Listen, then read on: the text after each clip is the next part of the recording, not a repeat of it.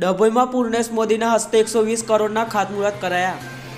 ડભોઈ વડોદરા રોડને six lane બનાવવા માટે ખાતમુહૂર્ત કરવામાં આવ્યું. ડભોઈ તેમજ કરજણના ધારાસભ્યો ઉપસ્થિત રહ્યા હતા. જિલ્લા પંચાયત, તાલુકા પંચાયત, નગરપાલિકાના પ્રમુખો પણ હાજરી આપી હતી. Reporter Vikas Chaturvedi BI news Gujarati Dabhoi.